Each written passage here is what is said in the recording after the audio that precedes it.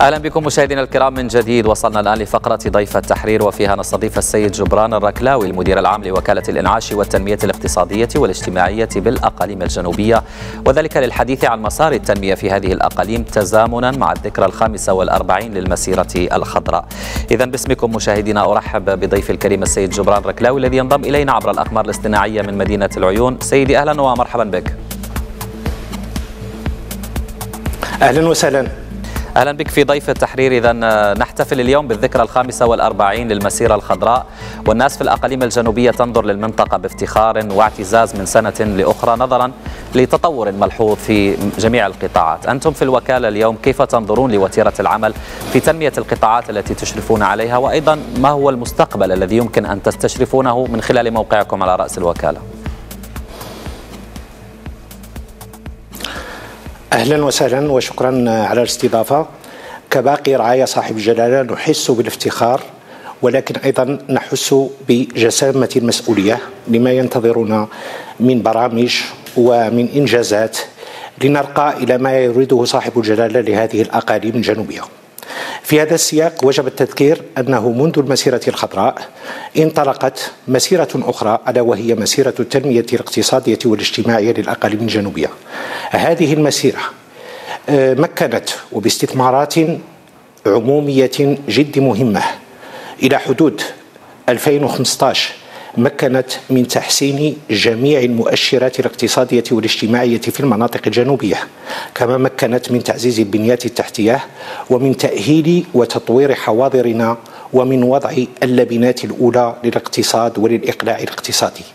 هذا الإقلاع الاقتصادي الذي أعطاه صاحب الجلالة نصره الله الانطلاق من مدينة العيون من خلال إعطاء الانطلاقة للنموذج التنموي الجديد والذي يهدف اولا إلى إقلاع اقتصادي حقيقي من خلال تعزيز تنافسية الأقاليم الجنوبية لتجلب الاستثمارات ولتجلب الرخاء ولتجلب مناصب الشغل وأيضا من خلال تغيير المحددات المؤسساتية بربطه الوثيق بالجهوية الموسعة. وعليه فرهانة المرحلة القادمة هي مزيد من الاستثمارات للفاعلين الخواص والفاعلين المؤسساتيين وهي العمل جميعا لإنجاح هذا المسلسل لما فيه خير رعاية صاحب الجلالة. نعم. سيدي يعني الوكالة تعمل على تحقيق كما تفضلت الإقلاع الاقتصادي للمنطقة. عبر تنمية الموارد البشرية وخلق بيئة حاضنة للاستثمار سواء كان استثمار محلي أو حتى أجنبي.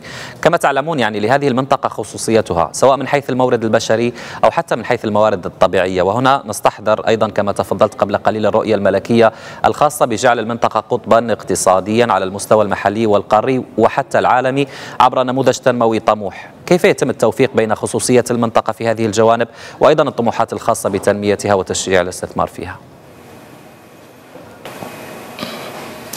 كما تعلمون فالجهة تقع في فضاء إيكولوجي يمتاز بقحالة المناخ ويمتاز أيضا بصعوبة الظروف الطبيعية. غير أن هذا لم يقف في وجه مجهودات التنمية التي بالمناسبة لم تقم بها الوكالة وحدها بل قام بها جميع الفاعلين. قام بها جميع الفاعلين في شتى الميادين. ومن هذا السياق تبقى معادلة التنمية في الأقاليم الجنوبية هي الرقي بهذه الأقاليم لتجلب الاستثمارات الخاصة سواء كما قلتم الوطنية أو الأجنبية بشكل عام. خصوصا وأن موقعنا الجغرافي في هذه الجهة يجعلنا بوابة إفريقيا ويجعلنا صلة وصل بين المغرب بل وبين أوروبا وإفريقيا. وبالتالي هذه الجهة مؤهلة بشكل آه، طبيعي أن تلعب هذا الدور المحوري في التبادلات وفي تعزيز التعاون مع عمقنا الإفريقي ولكن أيضا مع باقي دول المعمور اولا لما تزخر به من مؤهلات بشرية. هذه المؤهلات التي سيتم تعزيزها من خلال القطب الجامعي الذي سيتم إحداثه في إطار النموذج الجديد وهنا لا بد من التذكير بأن النموذج الجديد يتضمن مجموعة مشاريع مهيكلة والذي يصل كما تعلمون المبلغ المخصص إلى 85 مليار وفي هذه الجهة يصل المبلغ إلى 44 مليار 44 مليار التي تخص 270 مشروع. ولكن دعنا نتحدث شيئا ما عن المشاريع المهيكلة. القطب الجامعي كلية الطب كلية المتعددة الاختصاصات التي توجد حاليا في السمارة النواة الجامعية الموجودة على مستوى الداخلة وأيضا القطب التقني الذي سيتم إنشاؤه وكل هذا بهدف خلق جامعة متكاملة والهدف هو تعزيز كفاءات الموارد البشرية لأن إذا جاء المستثمر الخاص سيحتاج إلى موارد بشرية. علاوة على هذا فالعرض فيما يخص التكوين المهني من خلال مدن الكفاءات والمهن التي ستكون على مستوى الجهات الثلاث تساهم في هذا العرض. هذا فيما يخص المكون البشري والعامل البشري. نعم. العامل الثاني هو الولوجية فالطريق السريع الطريق السريع الأطلسي الذي كما تعلمون سيهم مسافة تمتد ما بين الداخلة وتزنيت بحوالي 1111 كيلومتر سيمكن من ولوج السلع والأشخاص والاستثمارات. كما أن هذا يعزز آه، البنيات التحتية الموجودة في الاقاليم الجنوبية من مطارات ومن موانئ وسيتعزز العرض المينائي والانفتاح على الآخر على العالم بشكل عام من خلال المشروع الكبير للميناء الأطلسي الذي سيحدث على مستوى الداخلة. هذا من جهة ثانية من جهة ثالثه ربط آه، جهة الداخلة بالكهرباء على مستوى بالخط الكهربائي على مستوى الوطني سيعزز ما يقام حاليا من مشاريع طموحة وكبيرة جدا في الطاقات المتجددة. مجمل القول أننا الآن نؤسس للغد. نؤسس أن نمر من نواة اقتصادية استثمارية على مستوى الأقاليم الجنوبية التي تعتمد حاليا على الصيد البحري على الفلاحة على السياحة على الثروات المعدنية إلى آخره إلى إقلاع مهم يرتكز على جميع هذه المؤهلات نعم ويثمن هذه أستاذ جبران سنعود سنعود وإياك بالتفصيل ربما إذا سمحت لي آه، من خلال آه، بعض الخطوات التي أقدمت عليها الوكالة فيما يخص النشاط الاقتصادي لساكنة الأقاليم الجنوبية وتنمية بعض القطاعات الهامة والهامة جدا والمرتبطة بالمواطن هناك في أقاليمنا الجنوبية ولكن قبل ذلك تحدثت آه، قبل قليل عن استثمار في المورد البشري وهذا أمر جميل من خلال إحداث مراكز للتكوين كلية للطب إلى غير ذلك. وهذا ما يؤكد أن المغرب يستثمر في الإنسان في أقاليمه الجنوبية قبل كل شيء قبل تلك البنيان والعمران الخاص بقطب اقتصادي هام جدا لأن الإنسان من يبني. اليوم أنتم في الوكالة وكل من يسير الشأن العام هناك في الأقاليم الجنوبية وكأنني به تلقى هدية. هذه الهدية آه، نستحضرها اليوم من خلال الحراك الدبلوماسي الذي عاشت على وقعه الأقاليم الجنوبية في السنة الأخيرة وآخر الغيث كان افتتاح دولة الإمارات العربية المتحدة لتمثيلية دبلوماسية لها في العيون. آه، كيف يساهم هذا في الرفع من أداء الوكالة في المجالات التي تعمل بها خاصة أن الحضور الوازن لهذه التمثيلات الدبلوماسية يعني لا يقتصر فقط على الفعل السياسي والدبلوماسي ولكن يتعداه إلى ما هو اقتصادي. فاليوم أنتم يعني آه، أمامكم ربما رقع جغرافية مختلفة انفتحتم عليها عليها من خلال الحضور الوازن لهذا لهذه التمثيليات الدبلوماسية في الأقاليم الجنوبية. شكرا جزيلا اسمحوا لي في البداية أن آه، أركز على نقطة مهمة فيما يخص البعد المؤسساتي فالوكالة ليست الفاعل الوحيد في الأقاليم الجنوبية صحيح. والنموذج الجديد كما قلت سابقا يرتبط بالجهوية الموسعة والفاعل الأساسي والمحرك الأساسي حاليا للتنمية على مستوى الأقاليم الجنوبية هي مجالس الجهات كممثلة شرعية للساكنة وهي من تحدد البرامج هي من تسهر على تتبعها وهي من تسهر على إنجازها فعلا بوجود مؤسسات الدولة ومنها الوكالة منها السلطات العمومية والإدارة الترابية منها القطاعات الوزارية. أما فيما يخص سؤالكم سيدي الكريم فالحضور الدبلوماسي والإشعاع الدبلوماسي ما هو إلا تتويش لما قام به المغرب على المستوى التنموي وعلى جميع المستويات وجميع الأصعدة والتي لها أصحاب اختصاصها وذلك تحت الرعاية السامية لصاحب الجلالة. فهذا الانفتاح وهذا الشكل من الحضور الدبلوماسي سيمكننا من تعميق التعاون. مثلا على المستوى الإفريقي هذا يعطي مدلولا حقيقيا لما نادى به صاحب الجلالة ولتعليمته من جعل هذه المنطقة وهذه الجهات صلة وصل مع إفريقيا حيث أن تواجد إخواننا الأفارقة سيمكننا من تطوير برامج تعاون جنوب جنوب من تبادل خبرات خصوصا أن المجالات الإيكولوجية تتشابه وأيضا من تعزيز التواجد تواجد المستثمرين على مستوى هذه الجهات وتعزيز التبادل الثقافي لما له من أهمية وخصوصا مع المجال الذي يتشارك معنا في مجموعة من المكونات التي يتقاسمها مع أبعاد ومكونات الثقافة المغربية بما فيها الثقافة الحسانية.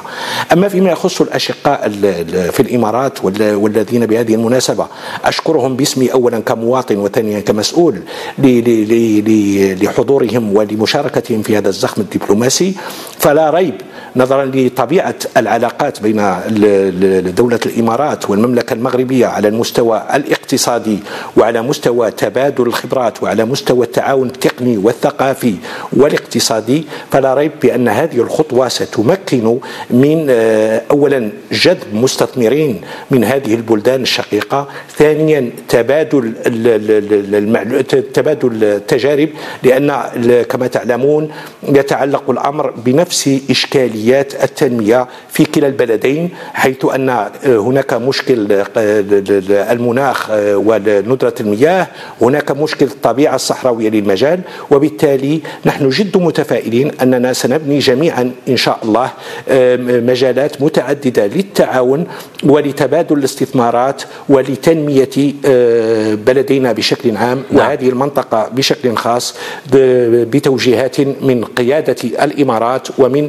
بالجهة الأخرى وبتوجيهات من صاحب الجلالة نصره الله وإيده نعم آه، يعني سيد جبران إقامة مناطق حرة في المنطقة أيضا بدوره ساعد على جلب الاستثمارات ولكن أيضا أدى إلى ثقة من طرف المستثمر لبعض الامتيازات التي توفرها هذه المناطق أين وصل هذا الورش وهل أنتم ماضون في تطويره؟ سيدي الكريم آه، أصحح يتعلق الأمر بمناطق صناعية كمرحلة نعم. أولى وبمناطق للخدمات والهدف هو توفير أرضية جلب الاستثمار سأعطي مثالا آه، ولله الحمد مثلا في مدينة بوجدور آه، المنطقة الصناعية التي تم إنجازها بموازاة مع الميناء على مستوى المدينة حاليا عليها إقبال كبير وهناك مستثمرين شرعوا في استثماراتهم فيما يخص يخص تثمين الثروات السمكية.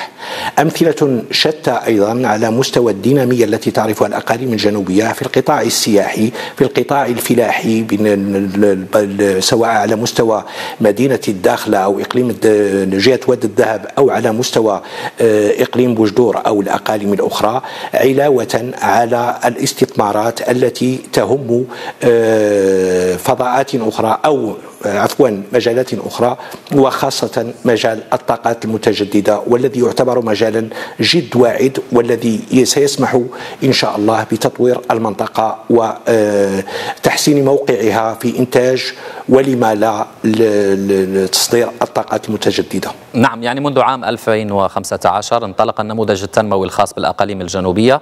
آه هذا النموذج يهم عدد كبير جدا من القطاعات التي لها علاقة وطيدة بالمواطن هناك. أقصد تحديدا قطاع الفلاحة والصيد البحري نظرا لأن النشاط التجاري لعدد كبير من الساكنة يتمحور هذا حول هذا القطاع. وتفضلت وتحدثت عن المناطق الصناعية في العيون مثلا ومحاذاة العيون مدينة المرصى فيها أيضا مناطق صناعية خاصة بما يتعلق بالصيد البحري وأمور أخرى. اليوم كيف يمكن آه، تطوير هذه القطاعات على وجه الخصوص؟ وكيف انعكس أيضا آه، الغلاف المالي الهام جدا الذي رصد لها من خلال النموذج التنموي على نشاطات الساكنة تطورها انفتاح الساكنة والشركات التي تعمل هناك على أسواق جديدة ربما وتطوير الناتج المحلي في المنطقة. آه، شكرا جزيلا على هذا السؤال القيم. آه، الانعكاس على الساكنة بما أن المواطن هو في صلب الاهتمام فيما يخص النموذج الجديد يتجلى على المستوى الاجتماعي وعلى المستوى الاقتصادي أيضا. فعلى المستوى الاجتماعي مثلا حاليا تجاوز إشكالية دور الصفيح على مستوى الأقاليم الجنوبية بشكل عام على مستوى الولوج إلى الخدمات الأساسية على مستوى التعليم إلى آخره من من من الميادين. وعلى المستوى الاقتصادي اسمحوا لي أن أذكر برقم بسيط ألا وهو الدخل الفردي آه، أو آه، المنتوج الداخلي الخام بالنسبة للفرد على مستوى مثلا جهة العيون هو الأول في المغرب حيث أن هذا المنتوج الداخلي الخام للفرد هو يعادل 90880 اما على المستوى الوطني المعدل هو 30000 فاصلة فاصلة ولا 30500 وشي حاجة. اللي أساسي هو أن نسبة التطور الاقتصادي سنويا من 2001 ل 2017 هي في حدود 12.7 آه، مقابل 3.5 آه، بالنسبة للمعدل الوطني. هذا ماذا يعني هذا؟ يعني أن هناك دينامية اقتصادية وأن هناك آه، قطاعات واعدة وجد مهمة ستساهم في الإقلاع الاقتصادي الحقيقي وفي زيادة الاستثمارات. ذكرتم قطاع الصيد البحري. قطاع الصيد البحري قطاع جد مهم وحاليا الدولة أو منذ 75 الدولة قامت باستثمارات جد مهمة في هذا القطاع وخلقت الأرضية للاستثمار كذلك الشكل بالنسبة للقطاع الفلاحي والقطاعات الأخرى أيضا. نعم أستاذ جبران يعني سأنطلق آه، من من خصوصية المنطقة مرة أخرى لنعرج على مجال آخر يتعلق الأمر بالظروف الطبيعية في المنطقة. وهنا نعلم بأن العالم كله يشتكي من التغيرات المناخية وبالتالي زادت نسبة التصحر الشح في الموارد المالية. أنتم في الوكالة كيف تعكفون على رسم سياسات ربما تتأقلم مع الواقع المعاش ولكن تحد من هذه الإشكاليات التي تنعكس بالسلب للأسف على الأنشطة الاقتصادية في المنطقة؟ السؤال يتجاوز الوكالة ويعني جميع الفاعلين كما قلت سابقا.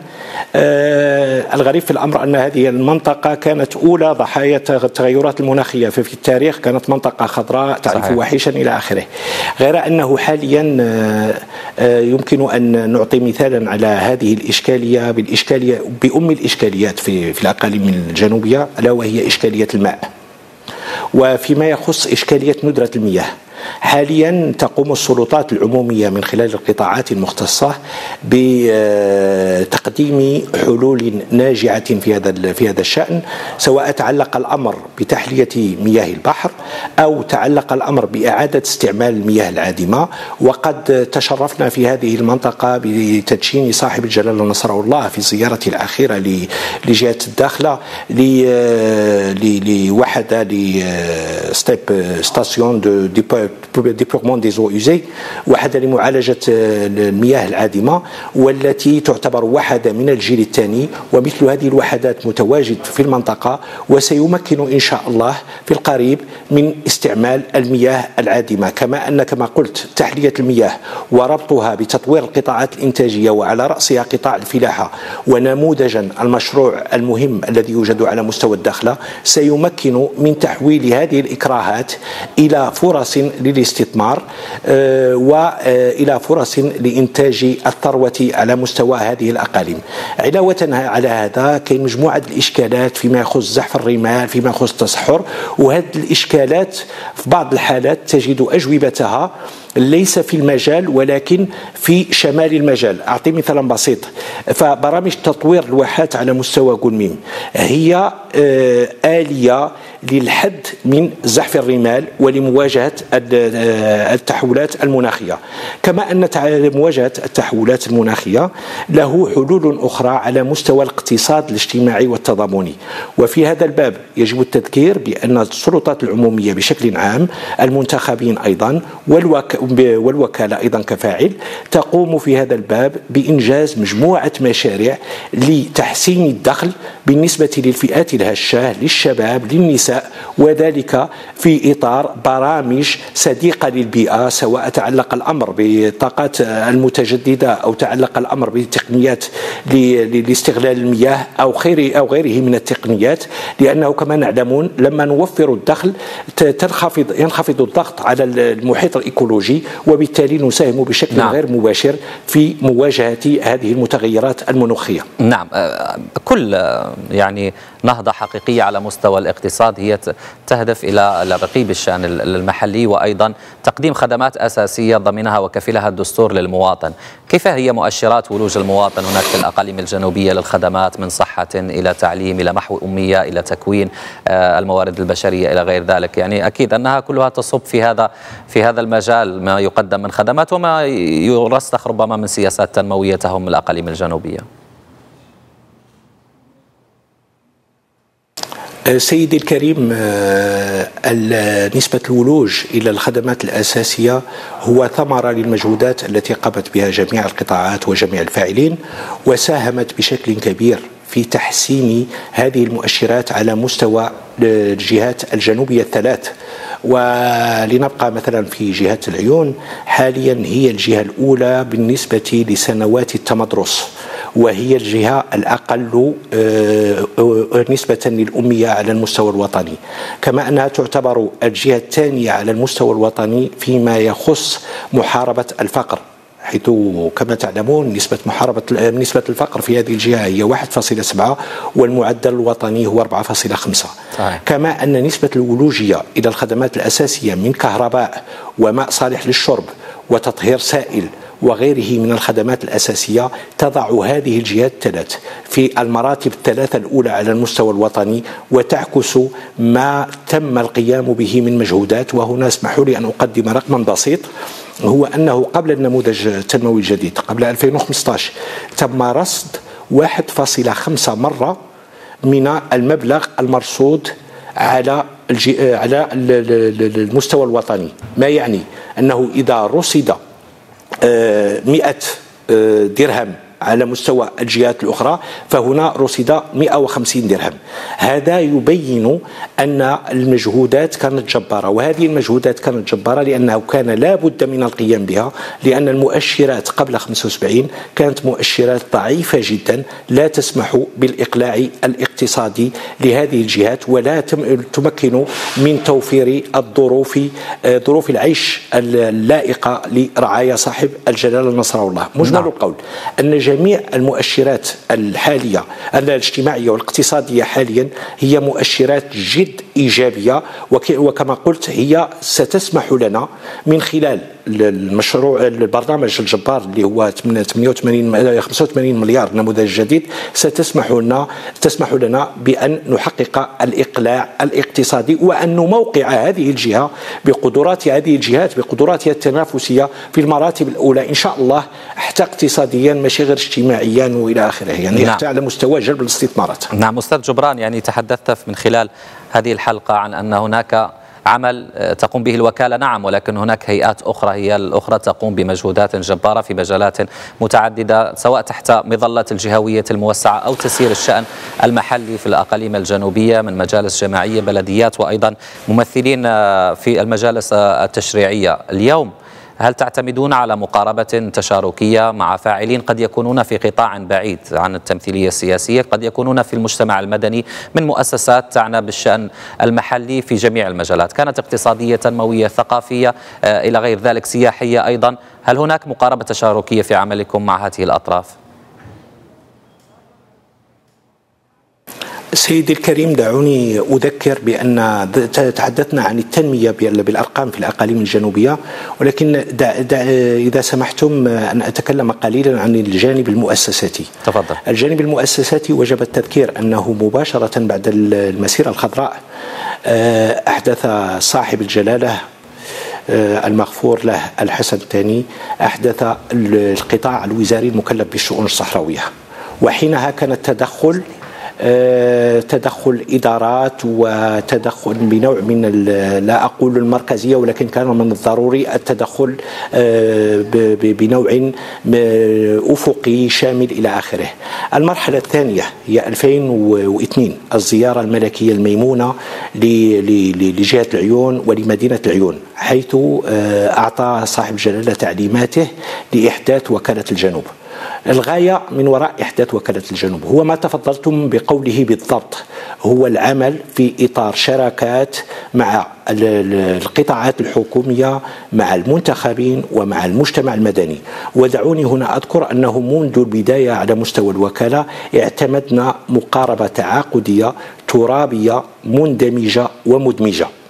ما أريد أن أقوله هنا في هذا الإطار أنه هناك برامج مندمجة تدمج جميع فئات المجتمع ولكن أيضا هذه البرامج تدمج جميع الفاعلين في إطار تحقيق التقائية السياسات نعم. غير أن هذا الأمر تم تطويره مع النموذج الجديد حاليا الفاعل الأساسي كما قلت هو الجهة ونحن طبعا في إطار عملنا نعمل آه، مع جميع الفاعلين. دعوني أعطي مثالا بسيط فيما يخص تتبع النموذج الجديد الإنجازات. هناك لجنة آه، جهوية وهناك لجنة وطنية وهناك حضور لجميع الفاعلين مع آه، موقع متميز للمنتخبين. أعتذر سي جبران عن المقاطعة. وصلنا إلى نهاية هذه الحلقة. شكرا لك جبران ركلاوي المدير العام لوكالة الإنعاش والتنمية الاقتصادية والاجتماعية بالأقاليم الجنوبية. شكرا جزيلا. شكرا لك على الحضور الشكر موصول لكم مشاهدينا. بهذا نصل إلى ختام حلقة اليوم من ضيف التحرير. لكم أجمل تحية أينما كنتم ونلتقي بعد دقائق من الآن في نشرة لأهم وآخر الأخبار. تفضلوا بالبقاء معنا.